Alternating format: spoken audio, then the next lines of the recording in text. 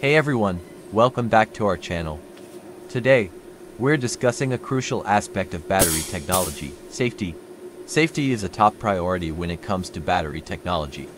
The EJ lithium iron phosphate battery incorporates advanced safety features, including built-in protection against short-circuiting. The short-circuit protection improves the safety and the service life of the batteries.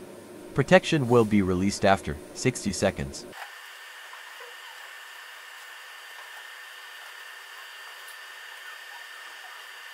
After the 60 second protection period, the battery automatically resets and returns to its normal operational status. Thank you for watching.